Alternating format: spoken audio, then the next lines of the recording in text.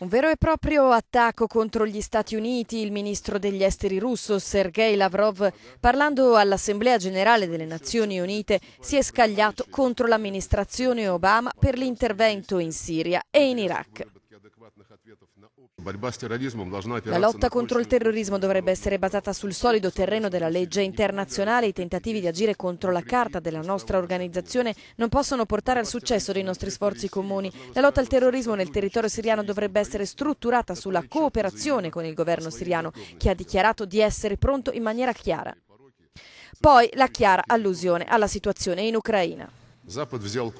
L'Occidente ha cercato di strutturare l'umanità in base ai propri standard, che sono ben lontani dall'essere innocenti. Dopo che Stati Uniti e Unione Europea hanno dichiarato vittoria nella guerra fredda e annunciato l'inizio di quella che hanno chiamato la fine della storia, hanno cominciato a perseguire l'obiettivo dell'allargamento dello spazio geopolitico sotto il loro controllo e non tengono conto dell'equilibrio degli interessi legali di tutte le nazioni europee.